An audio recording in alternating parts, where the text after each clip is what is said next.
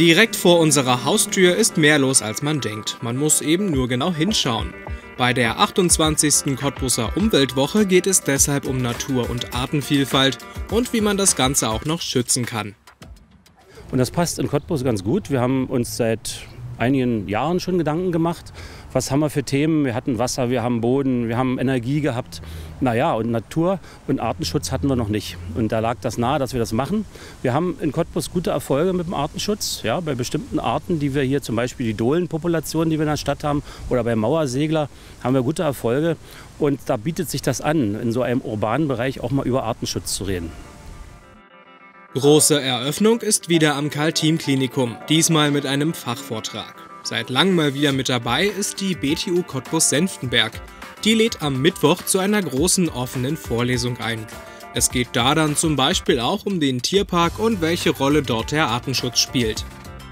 Eine besondere Auszeichnung zur Umweltwoche bekommt der Branitzer Park. Genauer gesagt nur ein Baum. Das ist dann aber die dickste Robinie Deutschlands.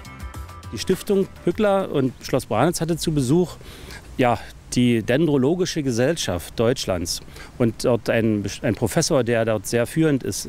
Und die sind durch den Außenpark gelaufen und haben auf einmal gesehen, was habt ihr denn hier für eine Robinie? Sowas gibt es ja in Deutschland gar nicht wieder. Und jetzt haben wir einen Champions Tree. Und wir werden zur Umweltwoche diesen Baum, der kriegt dann die Eule dort dran, ist zum Naturdenkmal erklärt worden durch die Stadtverordneten. Dafür haben wir uns verwendet. Und das werden wir zünftig begehen. Etwa 15 verschiedene Veranstaltungen sind für die nächste Woche geplant. Ab Mittwoch geht es los. Neben den neuen Sachen sind auch die Klassiker wieder vertreten.